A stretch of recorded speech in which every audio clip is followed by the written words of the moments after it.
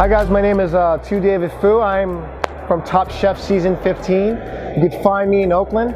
Also, this year I'm doing a traveling dinner series sponsored by Koshan and Feastly. I'll be in your major city near you every month of the year. Come check it out. It's www.chefshawkercenter.com. This is my first fancy food show, 2018. This is where it's gonna be at. If you're not here, you ain't cool. How do these trends help me do my job here at the Fancy Food Show? Coming here is so inspirational. So many different ethnic cultures, um, reflective in this small, confined space. As big as it is, it's amazing and very inspirational. Um, very reflective of what San Francisco is. I appreciate that and I love you San Francisco Bay Area. One of my favorite things of this fancy food show this year specifically is the beef jerky game. Oh my God, it's one of the most ancient ways to preserve food. And this year, they're revisiting how they preserve this beef, chicken, and pork.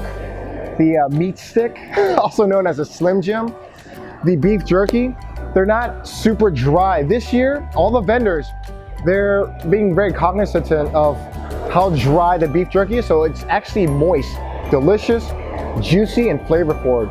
Shout out to you guys in the beef jerky game.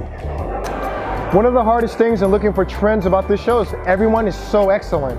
So beyond looking for a trend, I look for what's inspiring, things that I've never seen before. And this year, they definitely brought it. seems like they're gonna bring it next year as well.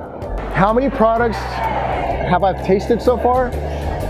I'm 6'2", about 215. Uh, I can carry a lot, so that's, that's a big number, trust me. I think vendors brought extra food just for me. One of the things I find inspiring about the Fancy Food Show here in 2018 in January is all the different ethnic cultures and all the different techniques. It's not just Italian, it's not just French. They're heavy in Japanese, Indian, Southeast Asian, um, Californian, uh, old school middle America. It's all here and it's San Francisco at the Moscone Center.